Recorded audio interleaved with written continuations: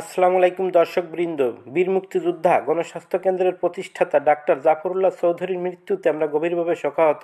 ইন্না লিল্লাহি ওয়া মৃত্যুকালে তার বয়স হয়েছিল একাশি বছর। তিনি সাতাশ ডিসেম্বর উনিশশো একচল্লিশ খ্রিস্টাব্দে চট্টগ্রামের রাউজানে জন্মগ্রহণ করেন এবং এগারো এপ্রিল দু হাজার তেইশ খ্রিস্টাব্দে ঢাকায় মৃত্যুবরণ করেন। ব্রিটেনে ভাস্কুলার সার্জন বিদ্যায় এফআরসিএস পড়াকালীন সময়ে বাংলাদেশে মুক্তিযুদ্ধ শুরু হলে তিনি এফআরসিএস পড়া শেষ না করেই দেশে ফিরে এসে মুক্তিযুদ্ধে যোগ দেন এবং মুক্তিযোদ্ধাদের চিকিৎসার জন্য বাংলাদেশ ফিল্ড হসপিটাল নামে হাসপাতাল প্রতিষ্ঠা করেন।